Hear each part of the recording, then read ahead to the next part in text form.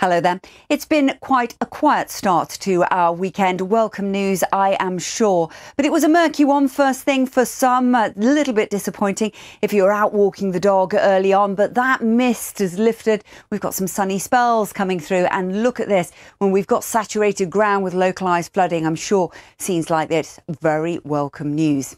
Now, we have got some showers around today, and low pressure still dominates the weather story. It's centred down towards the southwest. And with this weather front, just bumping into the far north of Scotland in that colder air still. Some of those showers have been wintry first thing this morning, but it's chiefly going to be rain as we go into the afternoon, just snow with any elevation. So this has been the story so far. We've had outbreaks of rain in Scotland. We've got some showers developing across southwest England closest to the area of low pressure. So as we go through the rest of the afternoon, those showers are likely to continue to be um, on and off throughout the afternoon. We've got a little bit of nuisance rain starting to develop up through uh, the Kent coast into the East Midlands by the afternoon as well. Elsewhere, sunny spells, a little bit quieter and not as cold. 5 to 11 degrees.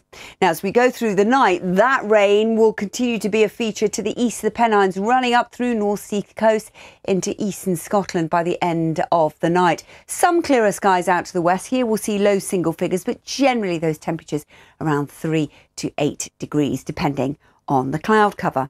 Now, as we move into Sunday, low pressure continues to be quite a feature with the story. We've still got this weather front to ease away first thing on Sunday morning. It will do so. Behind it, some sunnier spells developing and then a few scattered showers out to the west. So it's not a write off by any means. It'll be a case of sunny spells and scattered showers. You might just have to dodge those showers from time to time. 7 to 11 degrees, the overall high.